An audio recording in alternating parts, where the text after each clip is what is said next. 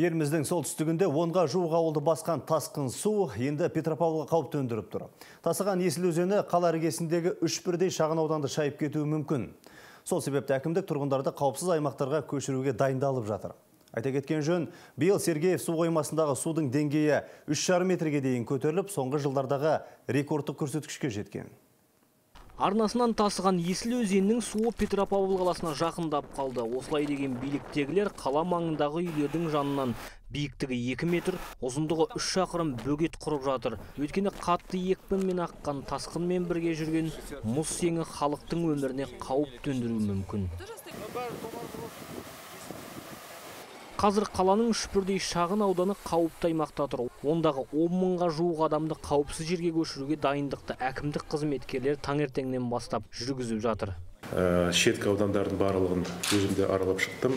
Ә, үш мектепте номері 12-ші, номер 13-ші, номер 14-ші мектебінде ә, қабылдайтын пункттерді бізде дайын.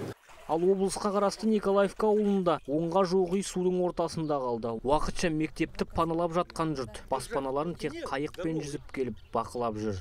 Конечно, жалко родной дом.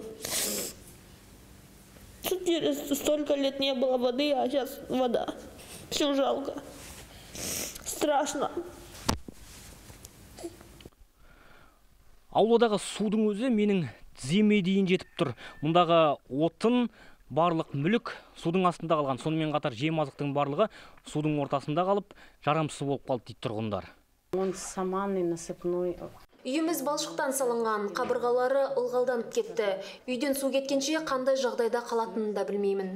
Ал облыс әкімі енді Петропавл қаласына үлкен су алдағы демалыста келе бастайды дейді. Руслан Жасұланұлы, Райымбек Бегужаев, Информбюро Солтүстік Қазақстан облысы.